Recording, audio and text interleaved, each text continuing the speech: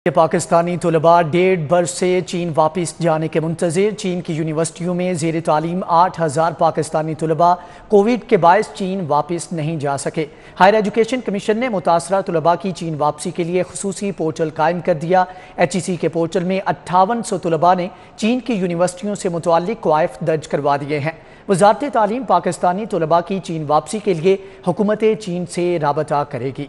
आपको बता रहे हैं कि पाकिस्तानी तलबा डेढ़ बरस से चीन वापस जाने के मुंतजर हैं। मजीद तफसी जानेंगे अकमल सोमरो से। अकमल, बताइएगा कब तक ये तलबा वापस चीन जा सकेंगे?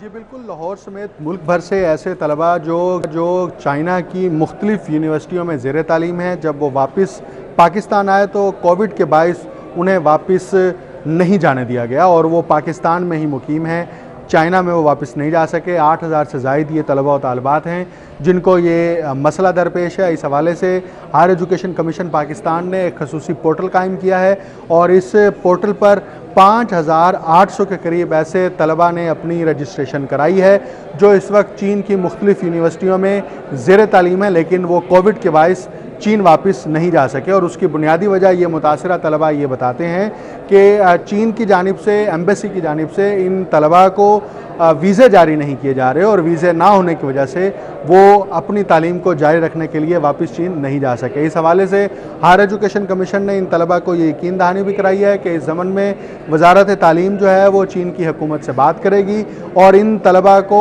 वापस चीन भेजने के लिए इंतज़ाम किए जाएँगे। इस हवाले से मैं ये भी बता दूँ कि ये तलबा जो चीन की मुख्तलिफ़ यूनिवर्सिटियों में ज़ेर तालीम है इसमें ऐसे तलबा भी शामिल हैं जो चाइनीज़ लैंग्वेज पढ़ने के लिए पाकिस्तान की हकूमत की जानब से स्कॉलरशिप मिलने पर उन्होंने इन यूनिवर्सिटियों में दाखिला हासिल किया था लेकिन अब वो पाकिस्तान में ही है और इन तलबा को चीन वापस भेजने के लिए अब हकूमत ही जो है वो हतमी इंतज़ाम जी।